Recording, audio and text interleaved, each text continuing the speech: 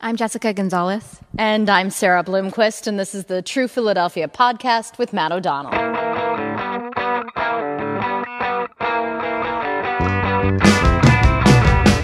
I'm Matt O'Donnell, and this True Philadelphia podcast episode is a deep dive into our latest 6 ABC true crime episode The Disappearance of Danielle Imbo and Richard Petrone.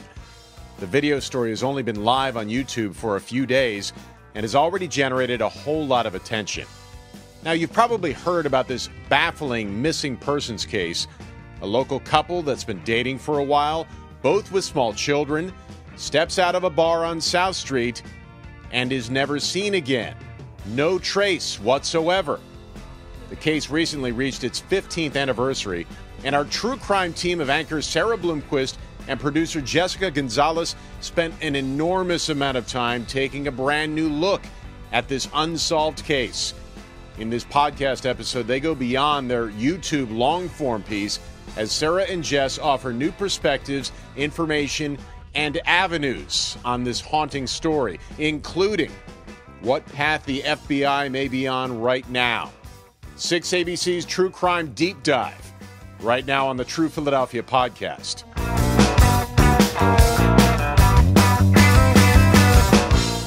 I'm Matt O'Donnell here with Jessica Gonzalez and Sarah Bloomquist, the producer and reporter of the latest 6ABC True Crime series episode, which is called The Disappearance of Imbo and Petrone. Thanks for joining me.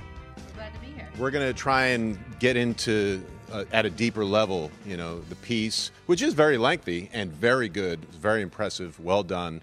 Uh, talk about, you know, some of the background between these two people. But first of all, obviously, we have these two people who have been missing for 15 years. The anniversary came up. Beyond the fact that we're hitting, you know, a number divisible by five, why the interest in this and why do this now?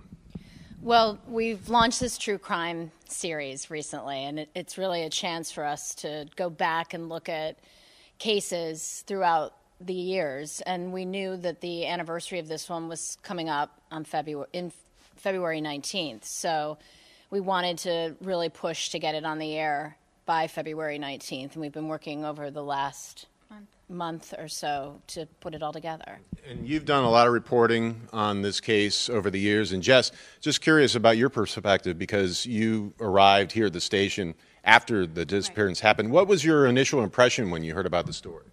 Um, so before we launched this whole series, we kind of did an informal poll of the cases that stood out to Philadelphians, and one that continuously came up was Imbo and Petrone, and it was just such a a strange mystery. You know, a three thousand pound truck, a couple walks out of a bar on what is now, I mean, it's usually a very populated street, but I mean, vanished into thin air. It was just something that everybody could kind of picture themselves in. So as context, Jim Gardner told me yesterday it is the most interesting, fascinating case he thinks in his entire career here at Action News. That's saying a lot. That is saying a lot. Yeah, you say you, you just say Imbo Petrone here in the city of Philadelphia, and people know what you're talking about. It's become these this, these two names that are forever linked and just are forever in the memory of, of this city.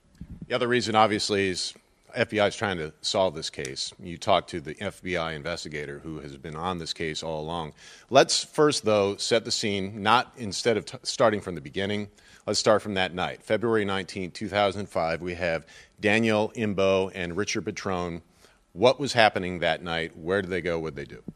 So, um, at the time that this was happening, Danielle Imbo was going through a, a, difficult divorce from her husband, Joe Imbo, And just to set this up, they had planned, they, sh- they had an 18 month old son, Joe Jr., and he was with his father that night, and there were plans the next day for him to bring little Joe back to Danielle's house.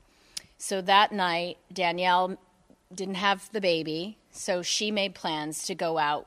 We hadn't known this prior. We all knew about Abilene's and what had happened on South Street, but they had made plans to go out with um, it, so Danielle, Richard Imbo's sister, Christine Girardi, and their mothers, um, Marge Petrone and Felice Ottobre. So they started the night at Chickies and Pete's. We should also set up. There's a lot of backstory here. Um, Danielle Imbo grew up in the same neighborhood with the Petrone family, and Richard Petrone's sister Christine was her best friend growing up. So they begin the night at Chickies and Pete's, and Richard and Danielle had been seeing each other. They had sort of dated in high school a little bit, and they had rekindled that romance. So they're at Chickies and Pete's, and Richard keeps calling Danielle, "Come meet me, come meet me." You want to pick it up there? Yeah, sure. So they want to meet at Abilene's. Actually, they uh, Richard was at the tap room, and he wanted Danielle and Christine and not the mothers, but that he wanted them to come out with him. And so the last time Christine saw Danielle, she dropped her off at the tap room to meet uh, Richard, and then she went back to Jersey because she had work the next day. From there, uh, apparently. Richard and Danielle were both calling Christine, trying to get her to go to Abilene's to watch a band perform, meet some friends. She said, I have to work in the morning, so have fun. And that was, once again, that was last time she talked to either of them. So then they went to Abilene's, uh, they had a few drinks, they met some friends, they walked out of the bar, and we mentioned in the story that Richard was really pleased with himself for finding this great parking spot, which was, we, nobody actually knows where it is, but he thought that it was close somewhere to the bar on South Street. It was a very, very cold night, like in the 20s, um, like 27 degrees or something. So he was really, he told people at the bar, I got this great parking spot, but nobody knows where it is. So they, they walked out, and that is the last anybody ever saw of them. They just vanished into thin air. There's never been a witness who's come forward who says, I saw them getting in the car or saw anything unusual. So this is 11:30 when they leave the bar, 11:30 p.m. and really the last time anyone sees them is before they actually get outside, but they're leaving the bar, right? They're leaving the bar. I, the group that they were with, I believe, was going to go to a different bar down the street, but they both had um, made plans. Remember, Danielle had to hook up with her son and her estranged husband the next day. She also had a haircut scheduled for the morning with Christine, coincidentally, who who does hair. So they said, "No, we need we need to get going." Richard, by the way, we should say, um, was raising his then 14 year old daughter, Angela, and he also was working at Viking Pastries here in Ardmore, which is a well known bakery that people knew. But he also, the next day, he was a huge NASCAR fan and he was going to go watch the NASCAR races. So they had a lot of things planned for the next day. So they that was the end of the night. They were they were they were finished. They headed to the car and that was the last anybody ever saw of them. And with this truck that they were going to get back into, Jess, this was a large truck. Right. It was a three, excuse me, three thousand pound, two thousand one Dodge Dakota. And it was it had a NASCAR sticker on the back. It was not something that you could, you know, drive into a garage and have it disappear. It, I mean, you could, but it, it's not likely. I mean, Vito mentioned over and over that in order to maybe two people go missing, but a, two people and a truck, it's really unlikely that it was random. It, you know, somebody knew what And they to were ha- doing. make that happen likely would have taken more than one person. Sure. So, speaking of which, the FBI uh, agent Vito Roselli, who was the original person on this case, said to you guys that he's confident it was a murder, that there was foul play, and that people know. And when I hear him say people know, obviously that's an intriguing statement. It sounds like there are people who were not involved with this might know some details and haven't come who were forward. involved with it, but it, the the family believes that strongly too. And we asked him that. I asked him that very directly a few times. Are you st- saying it's not just a person who knows, but people know? And he said, "People know. There's people could tell them." Um, and I think in the, the, one of the biggest things of all of this is that the, they just want to have the family know. It may not even be a case that is ever able to be prosecuted, but I think they want to be able, law enforcement wants to be able to tell this family. I mean, it's just been brutal for them, unbearable these 15 years to the not knowing. Yeah, Jess, I remember the uh, brother of Danielle Imbo saying, I'm scared to know what happened. Right. That was that was something that really stood out to us. He said he even if he finds out what happens, it's it's not a good place for him to go to because he doesn't like to picture the last moments of Danielle's life. He They're- they know it must be horrific. Right. It would have been horrific, and they likely knew in that moment that this was the, end. right. When do you think investigators decided, listen, they're not out there anymore? Um, I think the fact that they uh, their cell phones were never answered, there was never a credit card used. no, I mean, the, these were we emphasize in this story as well. These were two people who were very attached and uh, adored their children, and they just would have never left. This was so out of character that I think as the as time went by, they they knew they were not. So maybe in a matter of weeks or months, they're like, I mean, Angela and Christine. Christine, notably, this was one soundbite that stood out to a lot of our viewers. She said, "By that night, I knew I would never see them again."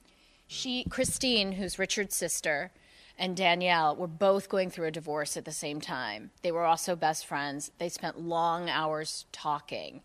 And I think in those conversations, maybe things had come up that made her con- concerned. So there are a lot of players here, a lot of names. Um, but let, us go back to some of the period before you know this all happened that night on February 19th, 2005.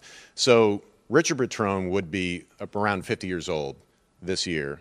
Uh, Danielle Imbo would be about 49, so they're both about the, the same age. Danielle Imbo uh, has sort of a notoriety when it comes to her father. Talk about that. Well, during the course of the interview with her brother, John, he mentioned he, he was talking about her and he got very excited when he talked about her singing ability. And he said she took after our father, who was a, a, local celebrity in South Philadelphia. He Ottobre, John Ottobre, went by Johnny October, and he was part of a doo-wop band called the Four Dates, and they performed with Frankie Avalon and.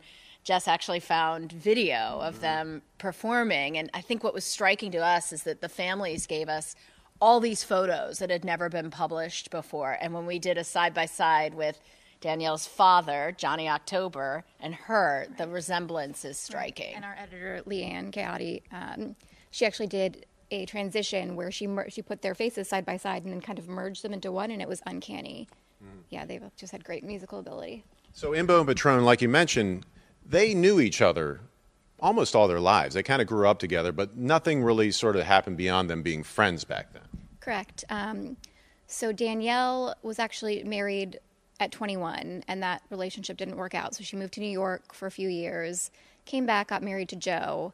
I think they were married for what about a year and a half or two years? The, well, they I think they were married in 2002, and the, they were still going through divorce proceedings in 2005 when the disappearance Which happened. the divorce was made final at, at some point after their disappearance. I would imagine. Right. Okay. Yeah. Yeah. Um, so yeah, they reconnected while they were both going through their separation. I I mean, Christine Richard's sister referenced that she she would come around all the time and once he came around they realized they had very they had a lot of similarities. They were both single parents at the time and they never really lost that connection. Mm-hmm. Richard never married his daughter's mother, mm-hmm. but they she, he he was raising her and And I remember Richard Petrone saying that his first true love was Danielle Imbo. they they definitely he really was he liked her a lot. And um, the family his family richard petrone's family says that repeatedly that he he hadn't dated very seriously. I mean i think he was very committed to raising his daughter but now here she is she's 14 this is an old family friend. He felt very comfortable with um, with Danielle and, and his daughter Angela says it was really the first serious relationship she can remember him having. The first time here he's bringing her to family parties and things like things like that. And they also both really liked music, Okay. and they they bonded over that. It's, it seems like there wasn't so much of a romantic interest between the two, but more so they were leading very similar lives. They're single parents, uh, trying to find someone that they can connect with and live with, and they had been able to do that up until then. right i mean i definitely there there was a love shared between them i think that they were they were a romantic couple Okay. Okay. but I mean, they had a shared history, um, so it was also just it kind of felt like home, and it was a source of comfort for one another. So everything seemed to be going just fine up until that night, didn't it? Yeah, and what really struck me when I was talking to them, and I, which I had not realized, again, we all thought this story began, started and ended at Abilene's, but talking to them and realizing that wait, no, they they started at Chickies and Pete's, and then there was this, uh, you know, this phone call, and Richard wanted to meet her at the um, tap room in South Philly, and it was very spur of the moment. So there was it was a random night. They went, they were here, they were there. There was nothing planned ahead of time. So, um, you know, when you when Vito says he thinks this was a murder, he thinks it was foul play. If you start thinking about well, were they followed or did somebody know? It, it, that would have been very difficult. I mean, it was that kind of a night. Before they vanished, there was nothing that the family knew or saw or suspected was wrong. Absolutely not. I mean, they both of them talked at length. They were very family oriented. They had no criminal past. They had no ties to anything shady. Um, Vito kept describing Rich as a knockaround guy, a hard worker. Um, just there was absolutely nothing that would make them targets. And people kept referencing just some of the viewer feedback, coming up with theories, and said, "Well, maybe they're in the witness protection program. Maybe they were tied to something." And Angela and Johnny both said they would never they would never leave their children if that was something you know completely far fetched con- um, concept. Like they would have taken their kids with them. They wouldn't have disappeared without And their children. the FBI wouldn't be actively investigating right, this there case, be too. billboards up if they were in the witness protection program. So Yeah. All right. Well, I want to go into what the uh, FBI and police have been doing since the disappearance, but you were able to go into what used to be Abilene's, the restaurant that they were last seen on South Street, which is not Abilene's anymore, and you were able to take some video. Now, who took that, and, and what is the restaurant right now? Um, so right now it's just a vacant space, and that was just that was a kind of an action news stroke of luck. We were going to shoot a stand up uh, where Sarah was going to kind of recreate them walking out of the bar, and we didn't think we were going to get into the bar, walking down the street and vanishing. But as we pulled up, there was a, a guy locking up, and Sarah, as I was getting the gear out of the out of the car, she kind of ran up and said, "Oh, do you do you have any ties to this?" And he said, "Yeah, I'm the owner of this building." We said, "Oh, great! Can we come in and look around?" And he let us in, and it was just it was an eerie feeling.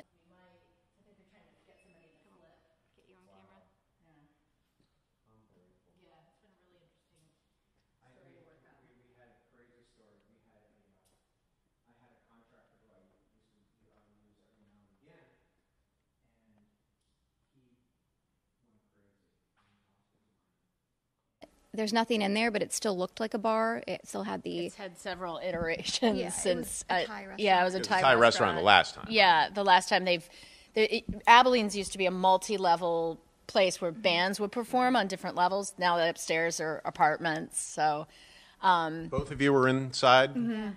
What, And- did you, what kind of feeling did you get, sir? it just it was just dark. I mean, it was, and I spent most of my time. Jess was shooting the video, but I talked to the the owner, and he was telling me he owned the building when the disappearance happened, and he told us for a very long time he stayed away from the building, and he he said the employees never knew, didn't even I don't think remembered them being in there, uh, Danielle and Richard, but he just felt like kind of creeped out about this even this building that he owned and the association with this disappearance. I'm sure when both of you left the bar, went through the door, there was a significant moment for both of you. Right.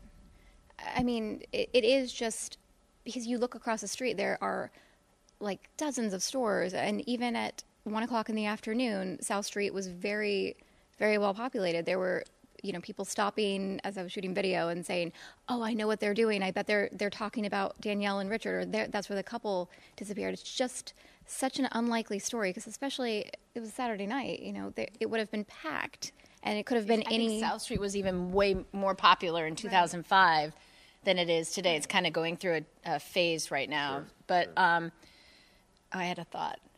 Uh, I, I think too when when you're standing there and you're looking around, I I keep thinking in my mind, where did they park? Right. Where did they park? Which way did they even go? Is, is And great Vito question. says I have an I have an idea. I have a thought of where they probably parked, but he didn't really Right. It disclose. had have been that. along South Street somewhere, you would think. You would right? think. I mean, unless it, there was a lot or something nearby. But he again, he kept bragging. Right, which is the- an interesting fact that everybody Oh. remembers. Is I've recalled my thought. That in 2005, I mean, we keep having these conversations that this could never have happened today. There are cameras everywhere. 2005, there weren't. Uh, there were not along South Street. And not only that, the phone records, the, the, the cell phones weren't pinging off towers. They didn't. The phone companies didn't keep records. So today, that all those would have all been clues as to what happened to them. GPS They, on the phones. Yeah. They would have been tracked within an inch of their life. It would have been um, almost immediate. You could tell where a person went, but That's a great point. So let's talk about after their disappearance. And there is one, what we know now as an insignificant moment, but in one year, the next year, 2006, they find a truck in the Delaware River. yeah. So this truck gets found, and the it's this moment of hope, I think, for the family. And uh, Danielle's brother John described to me. I said, "Did you go there?" And he said, "No, but I had a friend who was a Camden police officer who was on the scene, and he called him and said." John, it's not the car. He said, This is a Dodge Ram. right. It wasn't even the same make. It wasn't the same make. He said, I'm standing here with the owner. It's not the car. But um, he said he was grateful that he had a friend there because he didn't want to see it. He got ahead of it and it wasn't on the news yet. Um, so he knew ahead of even the news media that it was not the And one car. thing that stuck out to me that we didn't get into the podcast is when you asked Christine when they found the truck, did you have hope then? And she said, mm-mm. He said, It's almost like she had a premonition. She she said the night so the next day after they weren't nobody could get a hold of them. Um, calls were going to their cell phones. Danielle or Christine said by that night she just knew they were never going to see them again. She just knew. All right. So along the the many years that, that take place and go by, people start to come up with stories, and we've talked about a few of them. But uh, you mentioned in the piece motorcycle gangs, uh, prison confessions, and involvement in bad things, which you talked about as well. Were there other rumors swirling around that were just coming out of left field? Yeah, there were a lot. There was a guy arrested in Bucks County for a um, a pill ring that was operating in like I think Kensington. Rod Carey. Robert Robert- Carey. Robert yeah. Carey. Yep. it's Operation Fishtown. And he, the very next day, hanged himself in his jail cell. And there was always this rumor, especially in like the Port Richmond neighborhood in Kensington, that he had done it and he had left a suicide note that mentioned Imbo and Petrone. And I asked Vito Roselli, was there a note? And he said, there was a note. And I said, did it mention Imbo and Petrone? He said, it did not. That has always been a rumor. I don't know where that started, but that has always been But they clearly looked at this individual. they did. Yeah, they did. And but then he died, and that made that you know more difficult to look to pursue. Joe Imbo. What do we know? He's he's still alive. He's not living in this area anymore. What, what do we know about his contact with investigators? What he's doing? Uh, their son. Uh, so he had, Vito mentioned he had a very solid alibi. He was in Toms River that night with uh, a number of family members, a number of friends, some in law enforcement. So he was he was questioned multiple times. He took a polygraph. He passed the polygraph. I, I don't think they said if he passed. They, they've never. I don't think they've disclosed whether. Oh, I thought it was indicated. No, I don't think he. They because I said he took a polygraph, but I don't think they've ever said one way or or the other. The facts remain. This was not an amicable separation in terms of the fact that Danielle Imbo was very upset about it. Chain smoking, Yeah. uh, stressed out. Right. Yeah, and I think Vito mentions that they this they'd come to the time in their their talk their divorce proceedings where they were talking about money, and it was it was difficult. I, I we do we should say at this point that Joe Imbo has said publicly repeatedly that he had nothing to do with his with Danielle's disappearance, and we just did reach him on Facebook. Right. What did he say? Um, he said that he was happy that we were keeping the story in the media and remembering Danielle, but he had nothing more to add about the story at this time. He does. The son, little Joe, lives with him in the South, like South Carolina or Georgia. South Carolina, I believe. South, and um, Which is understandable because it would be hard for anyone to have to still live around here and to have been going he through moved- the he moved separation. pretty soon. Right. I think afterward. Um, little Joe is still very much a part of Danielle's uh, brother's family. He comes up and visits. They go to the shore. He's apparently very musically inclined, like his No surprise, right? like his mother. His 12 yeah, Instruments. twelve instruments and um, and the, they talk. Um, John has two twin boys, and they talk on the. I don't really know how you do this, but you talk on Xbox. I Yes, guess I've seen it happen. they they talk on Xbox every day, so they're always in touch with little Joe. He's, I mean, that's what they have left. He says, "I see, I see little Joe. I mean, they see Danielle and little Joe smile in his musical ability. It's difficult, but that's something that they'll always, always have." Tell me about Anthony Rodesky. So, Anthony Rodesky, Danielle and Richard Petrone disappear in February 2005. In March 2005, Anthony Rodesky murdered a guy in his home. And this is in Philadelphia, right? This was in South Jersey. Okay. In South Jersey, he murdered a guy in his home. Then in March of two, in April of 2005, he murdered a motel owner in South Jersey. Um, he's a bad guy. He's now in um, a supermax prison in Illinois. Um, they looked at him. They searched his home, um, and I don't think he's been ruled out. Is my sense from the FBI. And that, that's an interesting point to make. No one's been ruled out, No, No, including, eh, I don't want to pick on him, but Joe Imbo. Like, no one has been ruled out. right. Vito specifically said um, one of the sound bites we used at the very top of the pod or very top of the documentary was uh, I can't rule him out as a suspect, and he was referring to Joe Imbo. Um, there, it's really it's a it's a very frustrating and intriguing. I, I mean, Vito referred to this as his white whale. This is the case that It's like, yeah, Moby Dick, right? right He can't Trying to let it capture go. he can't let it go. Right. We really got the sense through all of this that, and we have this driving, what we call a stand up, this shot where Jess and I are driving along. There's really this sense in the interview that the FBI was saying, we, we have direction. We just need almost y- us, y- the two of us, to help get the message out and prompt somebody to come forward. And they was and Vito was very specific that he believes this case will be solved by someone who's sitting in jail right now. Yes, he did say that. Right. Um, And there's somebody sitting in jail right now in Supermax who is interested in, uh, you know, some some type of deal. He's expressed interest. He's appealed his sentence over and over again. Um, he's trying to get transferred. Is this so- Rodesky? Yeah. Correct. So I mean, but we don't know for sure if it's him. It could be could be somebody else. And um, you know that around that time in 2005, there was a big car theft ring. I think there were 13,000 cars stolen about that time. Vito does mention there was a, a car shredder down in South Jersey. You, if you headed south. South Philly, right? If you if you think if you're headed down toward the airport and you're going to make the right onto the Platt Bridge, it's right was right there on the corner. It's now been leveled and it's going to be a super Wawa. But that is a place where you could have taken a large truck, perhaps with two bodies in it, Yes. and gotten not gotten rid of it, but made it not. All- it, that- it wouldn't be a truck anymore. Speculation, but the, that has been a strong theory of law enforcement. Um, one local law enforcement person told me you could pull in there, they'd hand you five hundred dollars, no questions asked, and that was it. But we don't know.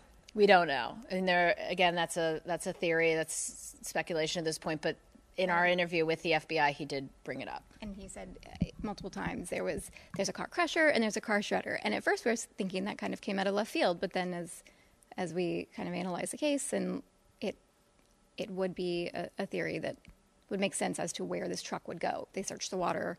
People thought maybe they drove off. You know, they were drinking and driving and drove off the road. uh, And Which has happened. They've. I mean, there's Yes. so many cars in the Delaware River right now. Right. Um, there's, yeah. I mean, in the day, the days after, for a long, long time, Denise's brother, I mean Danielle's brother, John, just drove around looking and looking and looking and looking, and along with Richard Senior. along with Richard Senior, yeah. Um, and he has this soundbite where he says, um, "If you ever have that feeling, and everybody has it at least one time in their life, where you feel like something isn't quite right," he said he has that feeling every day, from the moment he wakes up till the moment he goes to sleep. That could, that's just unimaginable to me. That's that's something that really struck me when I was watching the piece as well. And you kind of forget because you're trying to gather facts and you're speculating, but in the end, there are multiple people who get this feeling This is- every moment of the day. Yeah, this is th- just doing this interview was torture for him. I mean, it was really, really difficult. He swore. Uh, I may think maybe at the tenth anniversary, he was never doing this again. It's just too, too hard. And in fact, when he came, it walked in. He came with his wife and and sat down. And you know, in the moment when they're getting the cameras ready, and you're just talking to somebody, and I said, Wow, John, can you can you believe we're it's 15 years and he just completely broke down. Just totally broke down and It he, feels like yesterday to him, doesn't it? he said um, you're the first person to say it and he said it it just and I said does it feel like it's been 15 years does it feel like it's been 5 minutes and he said both. Both. As reporters, you you don't want to speculate. You're doing a job. You work on facts. But I'm going to ask the question anyway, it, and go into uh, an area that you're comfortable with. Obviously, anything to add to say? You know, do you think you know what happened? I mean, putting you on the spot, Right, right. I, I think that we laid out some of the theories the FBI has um, in the in the documentary. I, I mean, He has said there are he has two paths, 2 possible motives and he just wants someone to tell him which one is right. What are they? I can't I don't want to say. Okay. Right. Let me ask this: Could this be a case of mistaken identity? It could be. He said um, we asked too. If, could this just be random? Could and um, or was somebody just sent to to beat him up or something, and it went horribly wrong? You know, went way beyond that. I mean, there's they just don't know. It's so with so few facts and uh, so little evidence. Although he does say we have a lot of information, and he told me we they have boxes and boxes of things, but didn't disclose what the, the what those were. I think they just want somebody to say to piece it together and say. This is the right theory. How do you read the FBI agent and how he's dealing with this? I know they're very stoic, but um, this must be driving him mad. Right. I mean, this was Sarah mentioned this was such an unusual interview because usually the FBI they're very they're very reserved. They're very conscientious of what they say and what they don't say. And there is a PR person sitting in there, and normally they'll they'll interrupt and say uh, next question or we don't answer that or uh, something. And she was saying there was not a single question that was off limits. They talked openly, honestly. They never said, you know, take that out. It was just, it shows the motivation to solve this case. It's something that haunts authorities. Yeah, I mean, you've interviewed some like federal law enforcement officials, and they're often not. They're boring sometimes. It's just, you know, we can't say. I'm sorry, I can't answer that. We're not talking about that right now. This was not that. This was a least an hour long interview, and Jess is right. He answered every single question. One more thing. It's been out for a couple of days, the YouTube piece, uh, the true crime piece.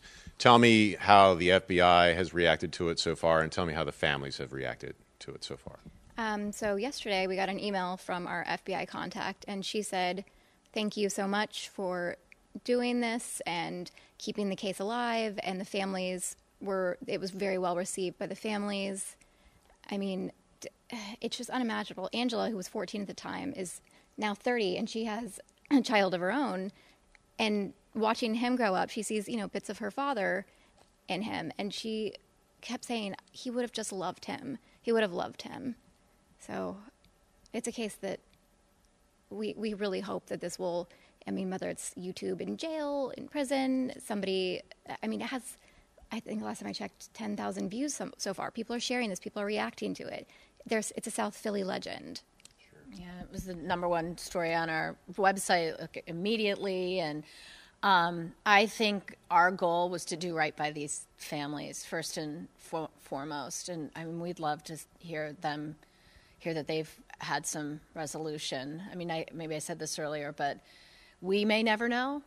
We probably, I think that's likely. We won't know, but there may come a day when the family knows hmm. what happened. It may be. A, Are you talking about a situation where they're going to tell them, listen, this is what we think happened. We're just never going to be able to bring this to a yes. prosecution? Yes, I, I think that that's. I asked that, is there a possibility that you find out what happened, but you don't have enough to prosecute anybody? And they said, yes. And I said, well, then when we find out, would you tell us? And they said, no, probably not.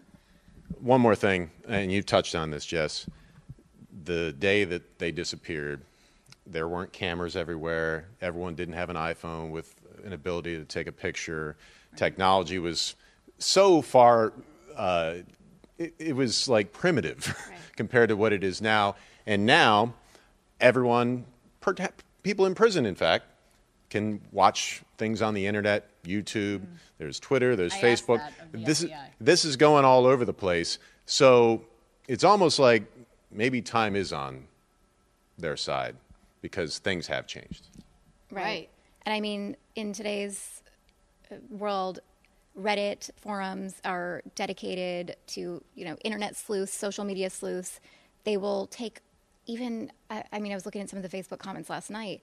Within 30 minutes, people were breaking down every single word. Oh, well, the, the sister said this. And do you think that, you know, why did the FBI agent say this? And I mean, it could just be a little, like a little nugget buried in the story that triggers a memory for somebody. And they can they can reach out and there's so many ways now you can submit a tip through email uh, there's phone call you can tweet the fbi i mean it's a different it's a completely different world yeah. someone who knows something could be watching listening to this and right. watching your piece right now.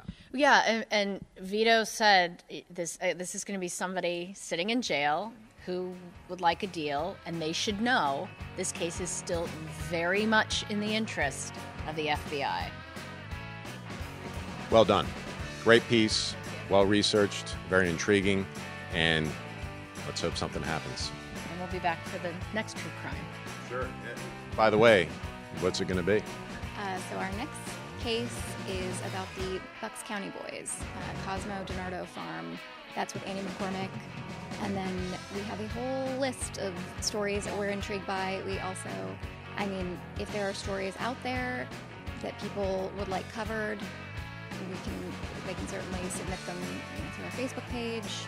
Sounds like time is not on your side with that. There's not enough hours in the day to, the city to get all. Philadelphia has no shortage of, of high-profile crimes and yeah, people who've done really bad things that um, are interesting to go back and review. Some solved, some unsolved.